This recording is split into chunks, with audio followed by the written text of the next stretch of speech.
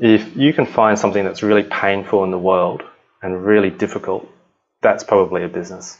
Business of Architecture, episode 339. Hello and welcome back, Architect Nation. I'm Enoch Sears, and this is the show where you'll discover tips, strategies, and secrets for building an architecture practice that lets you do your best work more often. Business of Architecture is the leading business consultancy that helps you structure your practice so you can focus on doing your best work instead of being bogged down with the complexity of running a business. Build the business you need to do the work that you want. Discover more by going to businessofarchitecture.com forward slash smart. Today I speak with Nic Granleese. Nic is a self proclaimed recovering architect who is now the CEO of Bowerbird. Bowerbird is an online platform that makes it easy to submit your architecture to over 1,487 magazines, newspapers, and websites and counting. I'm super excited to have Nic on the show today. I've known Nic for a long time now, practically since I started my entrepreneurial journey. We both got started about the same time.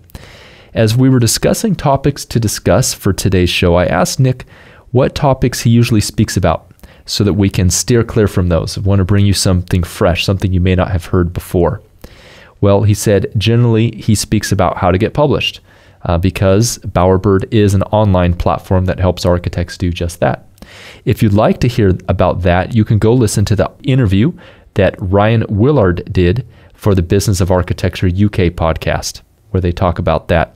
On today's episode, we talk about something slightly different. Nic pulls back the curtain on his own entrepreneurial journey and gives us a sneak peek, uh, including some valuable tips that you can implement in your own architectural journey.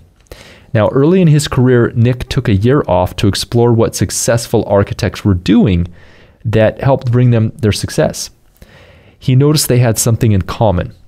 Today, you'll discover what that thing is, as well as other lessons that Nic has learned along his entrepreneurial journey, uh, especially from the world of startups. Nic, welcome to the Business of Architecture podcast.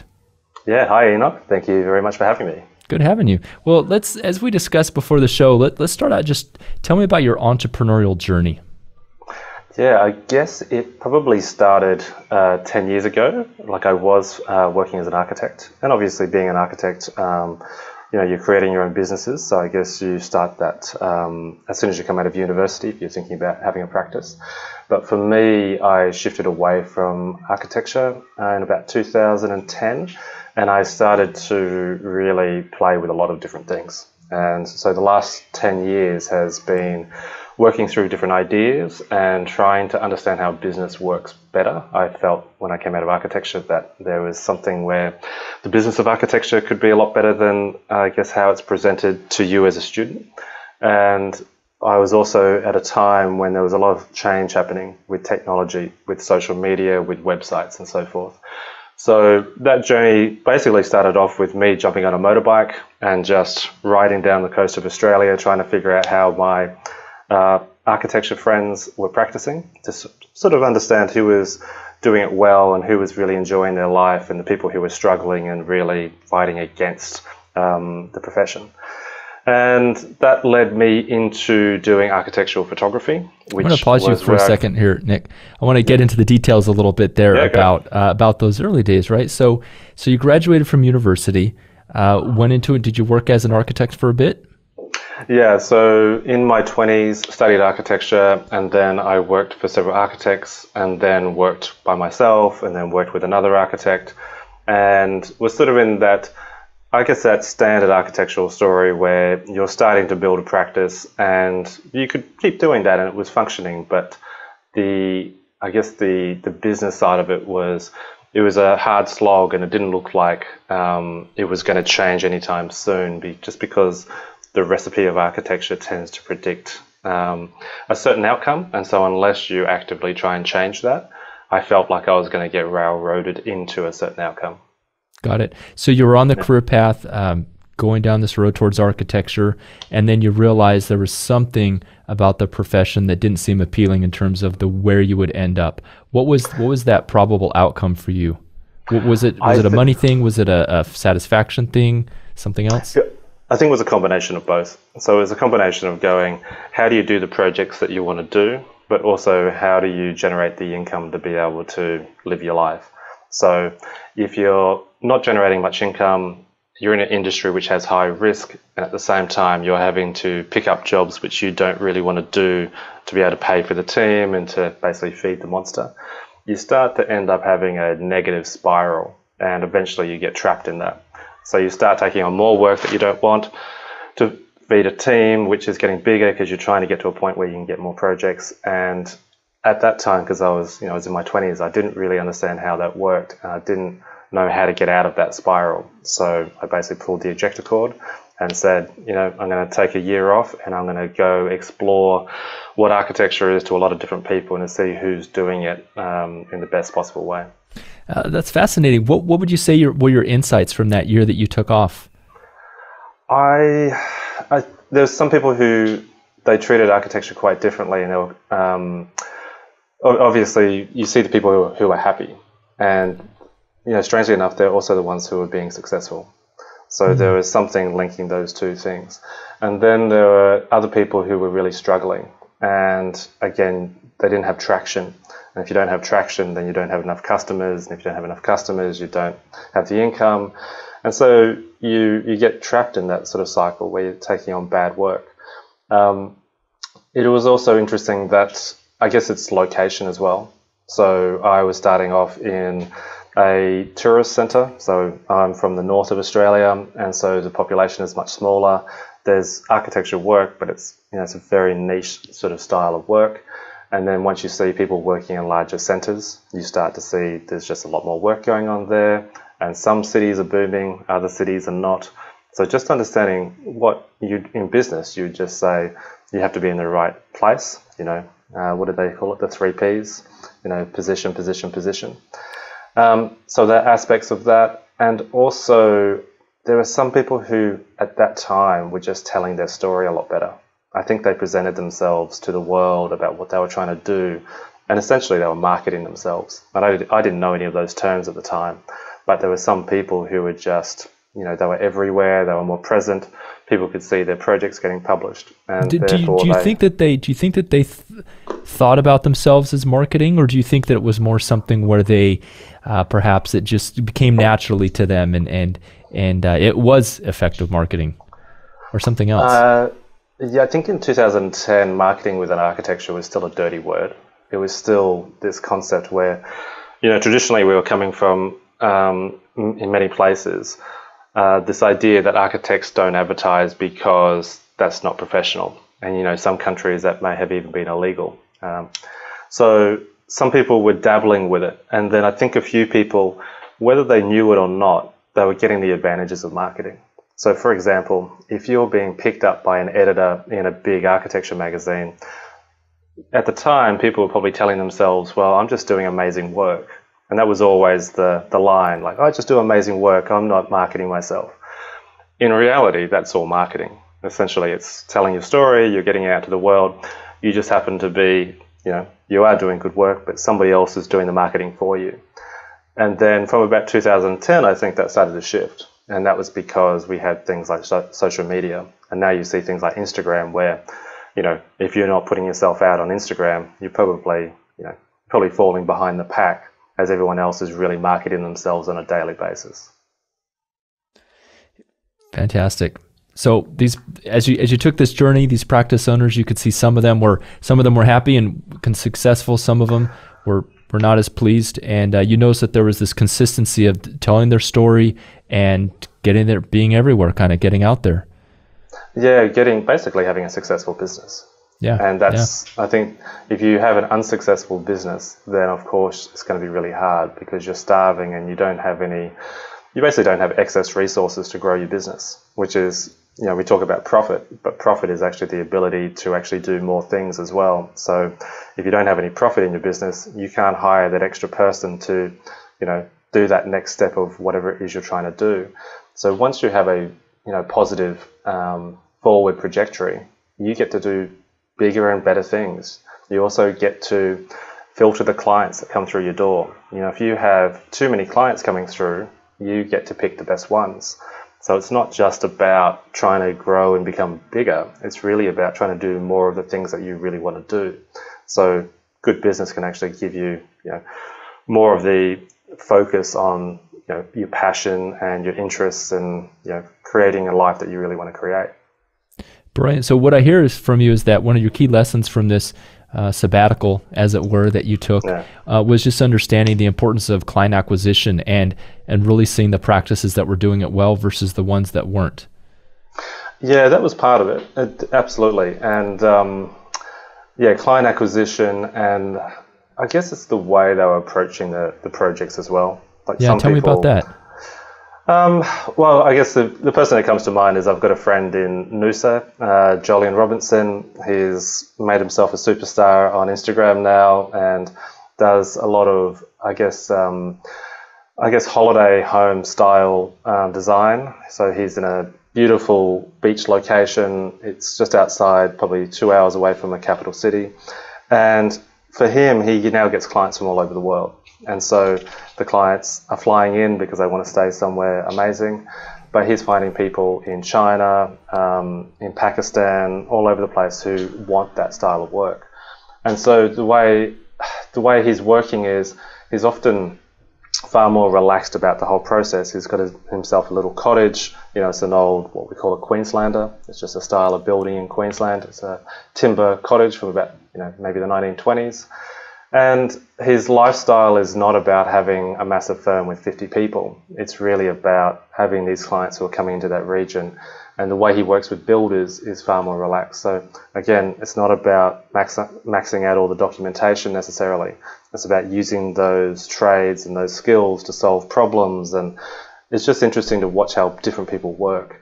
And um, compare, compared to let's say you're in a big city and suddenly you've got 50 staff and you've got a huge you know mortgage to pay you know a huge loan to pay all your staff every week and you have a lot of risk with that sort of business. So it was just interesting watching those different sort of people work. Yeah. Any other insights that you had from that uh, free time on the open road? Not not when I was doing it then. I I think my general insight was that I was still searching for what was missing. Like now that I've gone through building businesses many times, I think the biggest thing is figuring out why you're valuable to people. So trying to understand what problem you're really trying to solve and whether or not people are willing to exchange money for you to solve that problem, which is very much a startup mentality.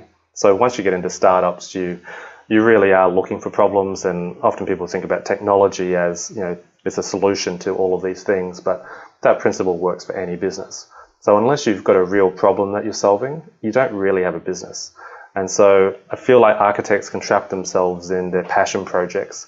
Whereas if you start from the other direction and start to go, what is it that I'm really trying to solve here? Do people want to exchange money for it? If you can find that overlap, you suddenly find yourself probably a business that you can grow and expand. And what were some of the other businesses that you uh, that you started or ventures that you did along the way? Uh, so I started off. I started off with photography. So again, this was a, a passion project for me. Start, started off as a creative outlet from architecture, where mm. you know I was able to create something and I didn't have a client, and I didn't have. Um, it was instant gratification.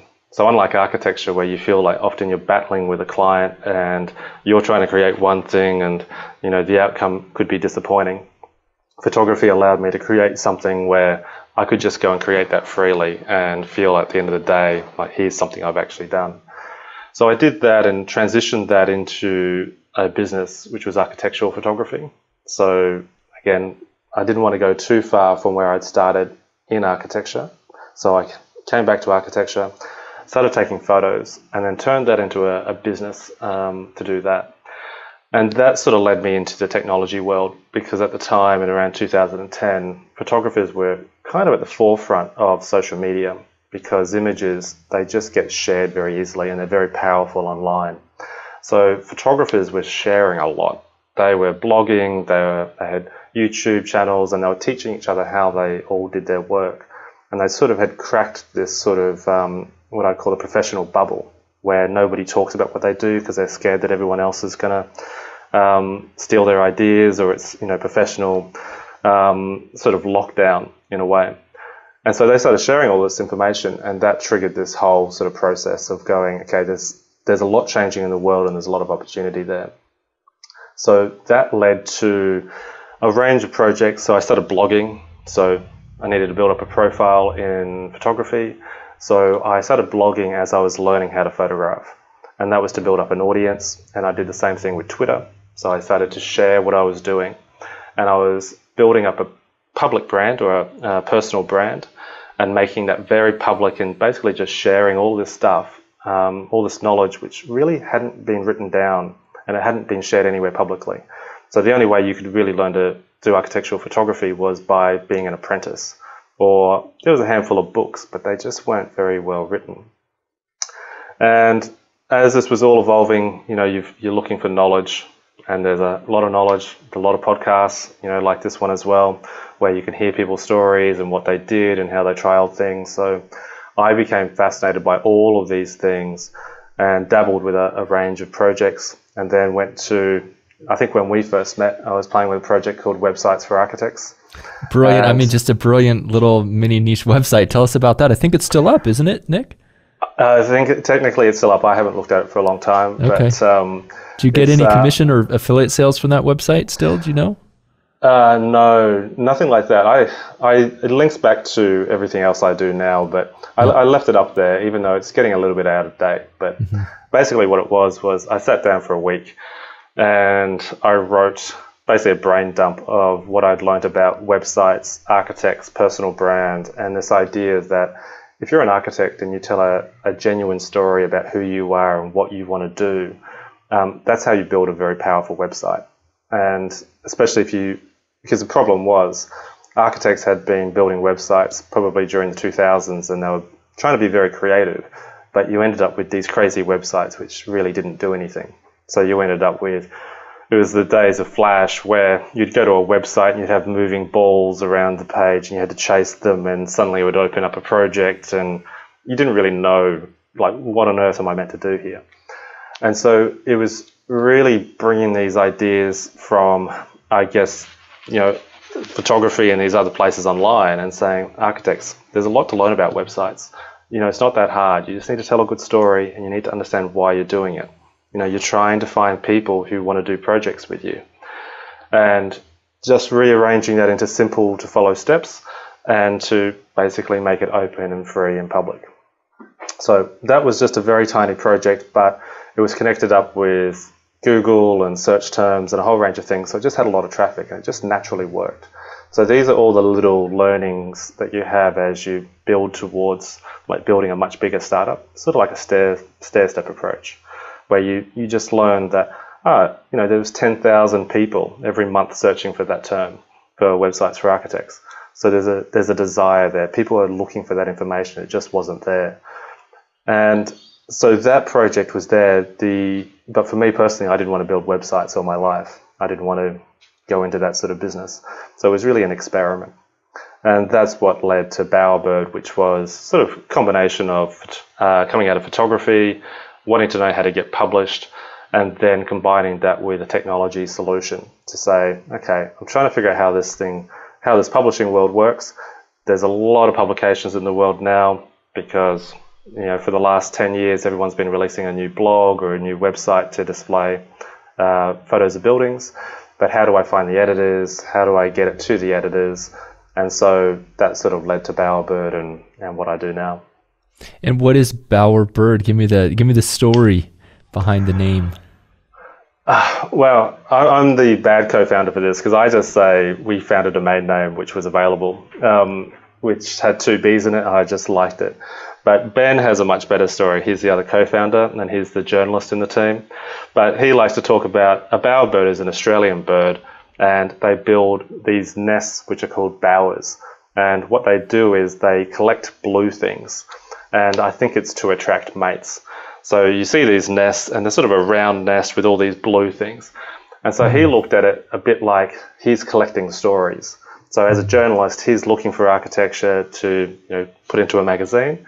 And so he's constantly making lists of different projects. So let's say you're doing a story on timber um, high rises. Well, you collect a whole range of projects and so forth. So it made a lot of sense for him. It connected with um, how he worked. But um, but the the app itself is really it allows architects to upload content to build media kits uh, for their work, and then it plugs into a it's basically a an ecosystem of journalists and architects who are exchanging content. So it allows you to say, hey, I want to send my project to the New York Times. I can just send it off to them. Hey, I want to send it to ArchDaily, and off it goes. And it just simplifies that whole media process. Yeah. So so help me understand. So for a flat fee, uh, just to tell our audience about Bowerbird, they get access to um, basically a tool which helps them syndicate. Is that the right word, or how how would you yeah. guys put it? Yeah. So basically. Um, you're trying to get your work into the hands of journalists, and journalists are trying to get, they're trying to find your work. And that sounds relatively easy, but it's actually quite hard because the journalists don't know your buildings exist. So, especially because it's international, they don't know that on the other side of the world you just finished a project unless you tell them. At the same time, it's hard for the architect because you're dealing with potentially 100, maybe 200 journalists, you know, all over the world who want content and going back and forth. So it's a platform which just manages all that for you, allows you to upload your content, and just make allows you to get out to as many people as efficiently as possible in, in both directions. So you, the journalists aren't wasting their time, the architects aren't wasting their time, and at the end of the day, you're telling your story to the greatest possible audience. Now, I remember that when you started out, and I'm not quite sure if this is still the case, but you were very selective about the the architects that you let come on the platform, or you were looking for very certain kind of work or certain certain level or caliber. Tell me about that. What was the reason behind that, and why is that important in a business sense? Tell me. It still is. So, so what we have now is we basically we have a team of people all over the world in different regions who essentially their job is to search for architecture. Uh, but their other job is that basically they're a filter to um, filter that content before it gets to the journalists. Because ultimately, that's what journalists are doing anyway. So we're trying to make their life easier. So if you're a journalist, you get bombarded with 100 emails a day from different people with projects that don't match their publication. So if you're, you know, if you're a housing magazine and somebody's pitching you a restaurant, you're just wasting somebody's time. It's it's noise. And so what we're trying to do is we're trying to essentially matchmake and try to simplify that as best as possible. So that's why there's a filtering process in there. And really all it is is it's going, look, there's a, a certain number of slots that these magazines um, have. There's this is the content they're looking for, and if we can f- match those two, then we let somebody in. Yeah. And what would be if we looked at that from a business sense and we said, okay, here, what's the business yeah. lesson here behind that strategy? What what would you say? Uh, I would say this is part of managing marketplaces. So this is more of a tech startup sort of conversation, probably not so applicable to architects, but essentially what Bowerbird is is a marketplace. And so a marketplace has two sides. You have generally a marketplace, you have somebody who's creating something and somebody who's consuming it.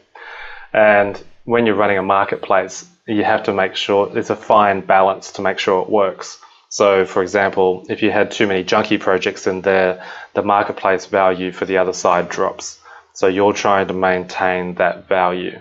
So that's that's part of why that happens. And unless you can figure out a way of self-filtering or um, somehow managing that marketplace in a different way, the easiest way we found was basically just to look at the projects and to go, we think that'll get published. Yeah, brilliant. I mean, it, it reminds me of like another marketplace would be Google, right? I mean, yeah. Google has they they try to make sure that from the end user who's searching, that the, the results are relevant, right? If they just churned up any old blog that had tons of keywords in it, well, people might stop using it. So it sounds like same thing for you guys. Similar. Yeah, and it's a yeah, it's a bit like if you if you're an architect and your phone was ringing every day with people who didn't fit your style of architecture, you would find it's a waste of your time. It's yeah. actually becoming a burden to you. So if you're trying to find those customers, what you're really trying to do is filter them so that you can get the best ones, so that you can you can give your time to somebody that you're actually going to work with rather than somebody who you're not. Okay. Well, let's let's talk startups. Let's talk. What what are some of the lessons that you've learned, and especially that might be applicable for our audience now that you've been through this journey uh, to where you are now, looking back. What what techniques, advice, tips would you give? Yeah, I think the, the big thing to understand is when people think of startups, what they're thinking generally of is things like technology, Google, these big change things. Whereas the, underneath that, there's a what's called like a startup process. Like there's a lot of foundational thought that's gone into that. And essentially, that's a strategy for solving problems, um, especially big problems that have risk, and trying to minimize that risk. So I think that's a big element that architects can take away from this. So the main process that's used is what's called the lean startup process. And this is from a guy called Eric Ries. He wrote the book The Lean Startup. And what it basically is is a three-step process. It's saying you have an idea, you want to test that idea as quickly as possible and as cheaply as possible, and you want to know if your idea is valid or invalid. That's all it is. So you imagine you're in the startup world, somebody comes to Silicon Valley and says, I've got the next big idea. You know, I'm gonna deliver food on horseback. You know, whatever it is. You know, you think people come up with crazy ideas. And you go, okay, that's great. Um, before you go and buy a stable and before you start, you know, spending millions of dollars on horses, how do you test that idea in the simplest possible way? And maybe that's as simple as, you know, hiring a horse for a day and seeing if people like, you know, what's the logistics here? You may find a horse just can't get around the city as well. And what you're trying to do here is you're trying to either kill the idea as quickly as possible, or you're trying to you're trying to get a signal that says this is positive. Now, the reason that's really useful is because you can apply that principle to a heap of small things in your business. So you don't have to be the next Google to do this. We find it in almost every decision we make now. We use something where we, so Ben and I will be having a conversation. One of us will go, hey, oh, shouldn't we do this? Wouldn't it be great if we, you know, hypothetically, let's say, let's make our website yellow. Um, it could be anything. And the other person will say, well, what's your hypothesis here? Like, what are you really trying to do? And when you when you force yourself into that, you go, well, I guess I was changing it to yellow because I thought more people would register on the website. So it forces you to be very measured in what you're doing. And when you go through that process, you often realize that you're probably applying a lot of time to things which won't move your business forward. You're just sort of playing around the edges, or you're playing with something which may interest you. It just doesn't have an effect for your business. So that process is incredibly powerful. Nic, I mean that that's it's such a deep and powerful principle. Like you said, I mean my mind is spinning here, yeah. but um, just the idea about what to focus on right because taking that idea if if we're focusing on the wrong so what i'm hearing is that uh, the focus is everything right but the way you get to the right focus is through the lean startup methodology of testing quickly iterating finding what sticks focusing on the right thing yeah so yeah, absolutely so that little process will help you think through something so um, you know as an architect let's say you're saying i want to I, I want to pay $10,000 to be in the newspaper, which is great. Okay, maybe somebody wants to do that. Now you're thinking, well, what will the, what do I think the effect will be? And then how do I measure that? So is there a way to, to measure that? And if there isn't a way to measure it, it's probably a sign that you either haven't thought about it well enough or the, what you're about to do is just a completely unknown. Um, and at that point, you have a high risk so the more money you're spending on something with the higher risk, you you're really just rolling a dice. And that's what most people do with businesses. They have an idea, they're just they're going to dedicate years of their life to it, and then they get to the other side of it and they realize it doesn't do what they think it was going to do. So what you're trying to do is you're you're trying to basically kill that idea as quickly as possible. Like if you can kill that idea in one day, that's that's a move forward because you've just saved yourself two years of toil. Mm. Um, and you continue that process and you continue that process, and it just forces you to constantly be working on something that's going to move your business forward. Like something we talk about a lot is what's the one thing I can do today to move the business forward?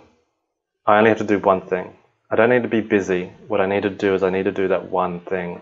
If I do that one thing, then I do. If I wake up every day and do one thing, and it's the right thing, you're going to get traction. You're going to go in the right direction, um, as opposed to the other one, which is you're basically spending years going in the wrong direction. Yeah, Nic, and before we before we started rolling here, uh, we were having a conversation about your duties at Bowerbird, and you talked about how you're currently the CEO. And I said, "Well, what what do you generally do?" And you said, "I cast the vision. I think about where we're going, right? I kind of yeah. look at the strategies, look at the big picture, look to see what are those big levers that we need to be moving." Yeah, absolutely. You you're trying to see what will change in the next couple of years, and you know, as a as an architect, what that may be is you're trying to figure out what will be in demand. And you know, a lot of large firms do this already, where they're going, we think aged care is going to be hugely in demand, and you're trying to figure out what that is. Um, an interesting point with that whole startup process, which I really like, is this idea of problem solving. And a big tip I'd give to architects is this question, which is look for the biggest pain point. So what I mean by that is if you can find something that's really painful in the world and really difficult, that's probably a business. And the more difficult it is and the more painful it is, the more valuable it is. And if there's no pain point, then there isn't really a business there. So one of the the way you use this, and this is sort of a way of finding those ideas of what you're going to focus on. But um, an example might be if you're an architect and you work in schools what you do is you go talk to the principals of those schools, get a list of 20 of them, organize a heap of meetings, and just ask them questions about what's the worst part of working with architects? Like, what's the hardest part? And you don't know what you're going to find. But if you find something in there that you're interested in, then you may have a little bit of like a secret recipe that you can now incorporate into your business. So, you know, the teachers may tell you that the hardest part is actually working with a big group of people on a large school. And so they're not telling you that they want a certain design outcome. What they're saying is we have trouble working as a team or to get decisions from a team. And that's the indicator to go, that's painful, and potentially that's something that people will exchange money for to solve. And as soon as you find that, then you know that you're actually solving a real problem and then you can keep focusing on that. And that's again why I think like startup methodology is incredibly powerful because it forces you to hone in on real problems that people are facing. What other lessons from the startup world or from your personal experience uh, come to mind? I mean, we've touched upon the lean startup methodology, identifying a problem, finding a big pain. Um, so you, you have those three steps. So you, you've got that first one, which is identifying problems. So we sort of went over that. The second one is this testing phase. And this is in the startup world, this is what we call a minimum viable product. So it's an MVP. So if you hear that term being thrown around the startup world, what it is is you're saying, how can I test that idea as quickly as possible? And there's a whole range of ways of doing that. But you, for example, let's say you've got a creative idea, and I don't know, maybe you want to do cardboard architecture you know, just throwing something out there. What you're trying to figure out is if people actually want that. So what's the fastest way you can do that? Maybe it is doing renderings and putting it on Instagram and seeing if anybody likes it. Now, if you get a if that goes viral and people really like it, that's a signal that there, there may be something there. Doesn't mean it's everything, it's just a signal. And then you build up on that signal. So what you're trying to look for is sure, it's popular, people share it, but will people exchange money for it? So maybe then you need to do a rendering, have a website, and say, contact us to build your cardboard house. And you're trying to figure out if anybody actually clicks through there. And again, that's a minimum viable product. It's so small. So, for as an example, in Bowerbird, our minimum viable product was a PDF. We um, we started off, we went and talked to a lot of journalists. We asked them questions about what's the most painful thing that you have dealing with architects. And they were telling us the difficult stuff is going back and forth with them. They don't come to us with a package of content. Uh, it takes us months to get a story.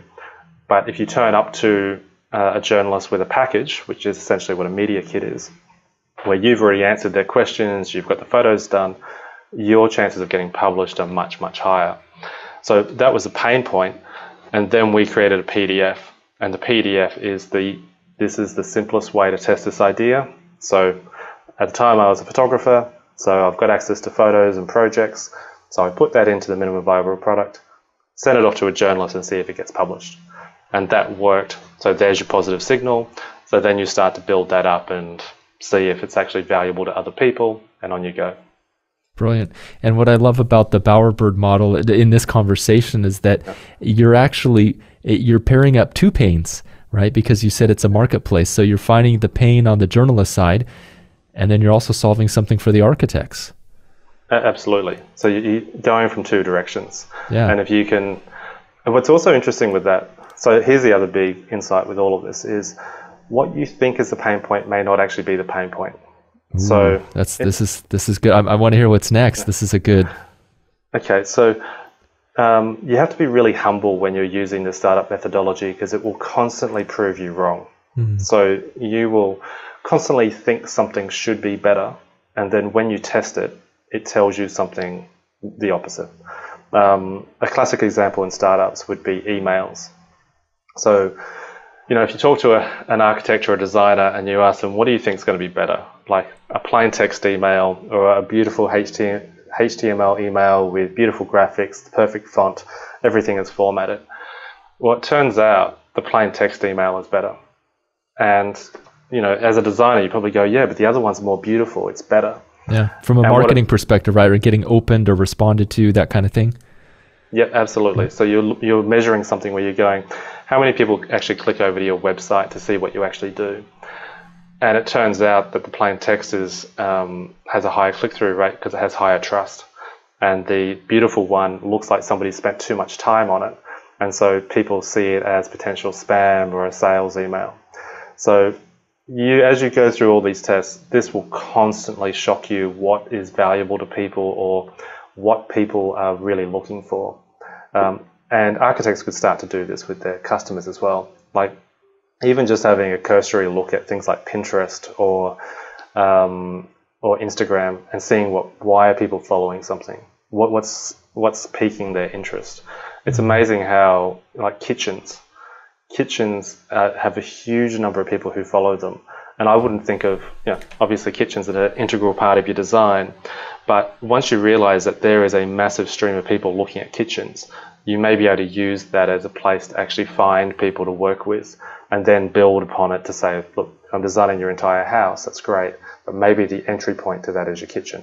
And again, I could be wrong about that. It's just a hypothesis. So yeah. then you would have to go test that and what happens if you put a kitchen on your the homepage of your website? Does that actually help you find more customers or less? And yeah, it could find you the wrong one.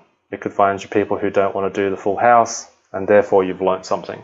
And you just again, it's this constant learning and trying to measure something to see um, how is the world actually working, not how you think it's going to work one thing that's that's required amidst all this, of course, is having having what I call the space, Nic. So actually having the space or the thought space in your mind to be able to sit back, you know, get out on the porch, have a sip of coffee or your tea or whatever, and just think about the business strategically and and proactively. Now, one thing in my work that I've seen with architects, of being a service-based profession, is many times they're so down in delivering the work answering phone calls, answering emails, that they just get trapped. It's difficult to step away and be in the CEO role like you are now, being able to have that vision, yeah. being able to think strategically about the business. What advice would you have for architects to be able to uh, to create that space for themselves that can lead to some powerful things?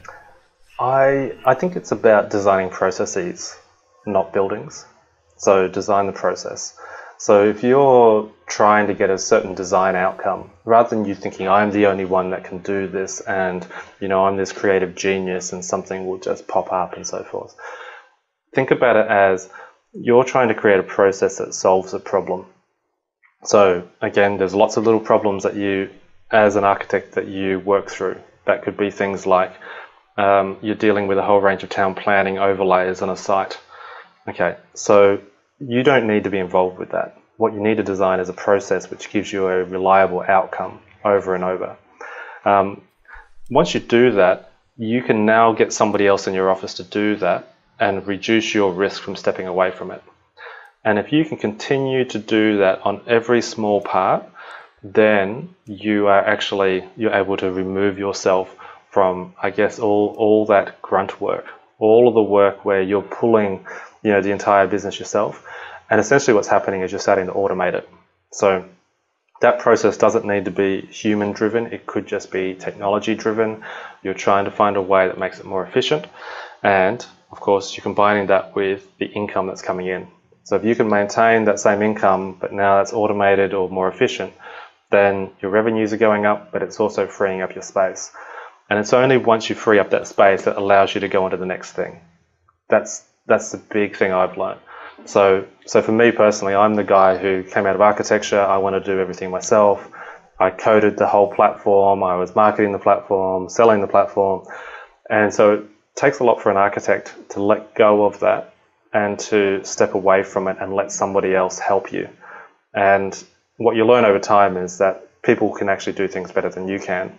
And it's actually important for you to let go. Like, if you believe in the business and what you're doing, you sometimes have to let other people do it. And mm. now your job is what you're actually doing is you're looking at the process to see how you tweak that to say, if I change this in a process, does the outcome change at the end of it? Nic, we could we could be here all day chatting. I mean, I love yeah. talking about this stuff, and I know you do, do yeah. too.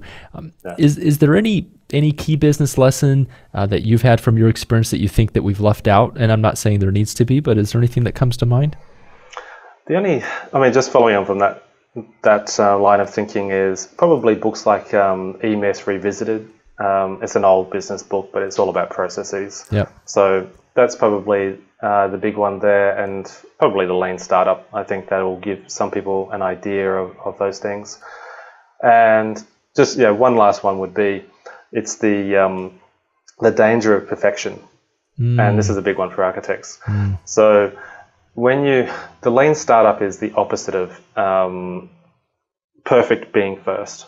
So what architects tend to do is they want to lock themselves in the attic they want to be a creative genius and then they want to open up the door in two years and come out with this perfect thing. Um, that's essentially what the startup methodology is trying to get rid of because that's high risk and it has a really high failure rate. Um, and the big one with it is you're just really not getting feedback. You're not getting any feedback along the way.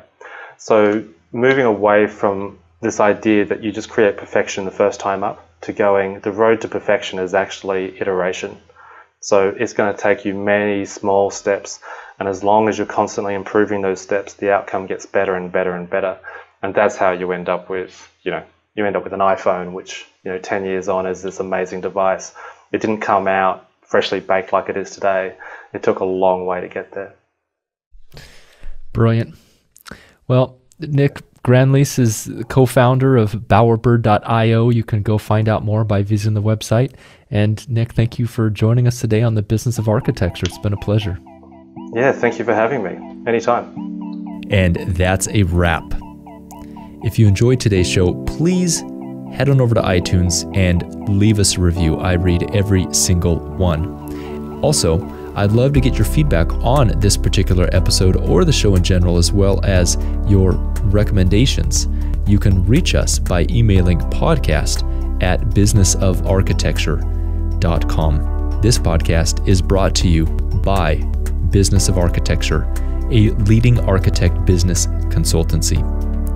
Access our free training on how to structure your architecture firm for more freedom, fulfillment, and financial success by going to smartpracticemethod.com. The views expressed on this show by my guests do not represent those of the host, and I make no representation, promise, guarantee, warranty, pledge, contract, bond, or commitment except to help you conquer the world. Carpe diem.